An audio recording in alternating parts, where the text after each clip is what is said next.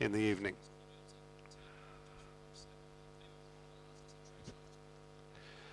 Righto, Andrew. Well, I've sort of uh, gone a bit left field here. Tip the nine, Almana Mutes, $13 fixed, 1370 tote. It's that sort of race. I mean, the favourites run last at its last two starts, Cabaret tonight, so anything could happen. Green light, ready. Racing, Cabaret tonight was out well, so too was El Malamute, but Call Me Aussie, the second reserve, has gone to the lead from El Malamute. Then Cabaret tonight, Celestial Celine.